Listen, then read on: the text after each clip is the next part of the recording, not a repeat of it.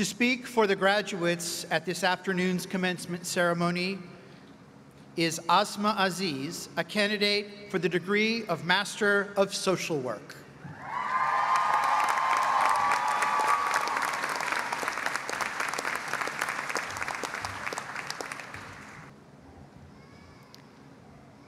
Before I begin this speech, I want to say that I'm very happy and excited today. I feel important now.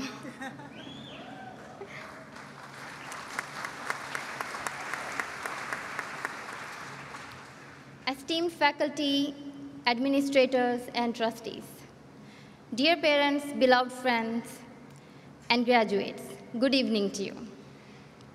It is a great privilege for me to stand here on behalf of the brilliant graduating class of 2018 to express the joy that we feel today. Author David Kushari said, Life is a journey with big rocks to climb, little ones to trip over, and milestones to mark where we have been. And I'm glad we are all here today at this incredible milestone together. This ceremony is significant because it is a proof of our determination to succeed. For each of us, we have had challenges that let us prove that we were determined to succeed. We juggled work, family, friends. We spent writing papers, sleepless nights. We are all here because although we may have stumbled over the pebbles, we picked ourselves up and continued the race. At this point, the question is, what's next? How should we carry on? I suggest we should remember our purpose each day.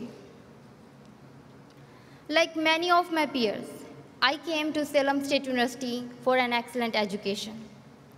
Unlike my peers, I came from a country of Pakistan, where life is totally different. In my hometown of Faisalabad, I can't leave my house without a male chaperone for fear for my safety. But I yearn to explore on my own. I wanted to be an active citizen of the world an instrument of change for my fellow women.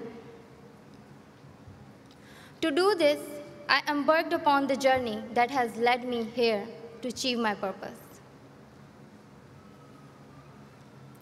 Two years ago, I arrived in the United States, not realizing that the housing and sport I prearranged for myself would disappear. Within 24 hours of setting foot in this great country, I found myself homeless, with no way to pay my tuition. I missed my family horribly, I struggled, and began to receive help from many people and organizations. I worked really hard, studying in a new language and working to support myself putting nearly all of my money towards tuition and living off about $50 a month. It's my purpose that wakes me up every day. Live, when I close my eyes, I vividly see where I want to be in the next few years, what I want to achieve, and how I will help women and girls improve their lives and now I have founded my own non-profit, One Little Light.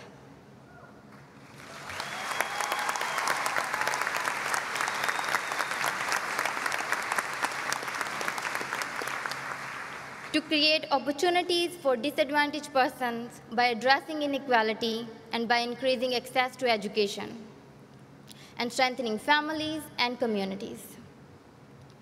Today, I challenge you all to remember your purpose. Live each day knowing that there is a reason you are on this earth.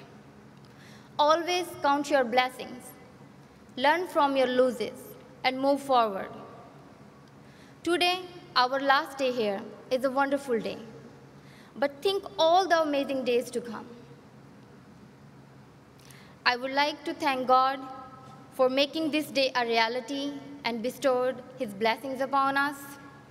I would like to thank all the parents, family, friends who encouraged and supported us as we work toward our graduate degrees.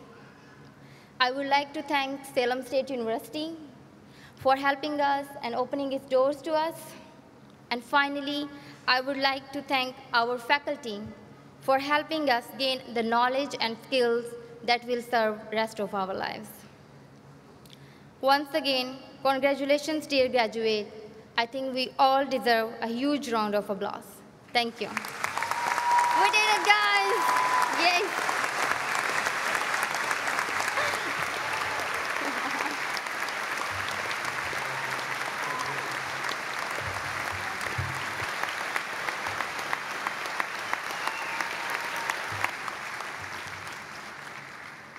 Thank you, Aasma, for those wonderful words of congratulations and thoughtful reflections. One little light indeed, one little light indeed. Aasma Aziz, social work. I know.